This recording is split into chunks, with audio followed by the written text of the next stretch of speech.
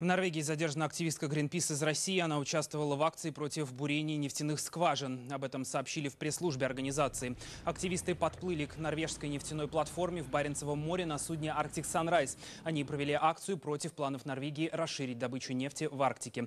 Акция продолжалась 11 часов. Из-за нее пришлось приостановить работу буровой установки. После этого 35 активистов и членов экипажа задержала береговая охрана. Корабль Arctic Sunrise буксирует к берегам Норвегии.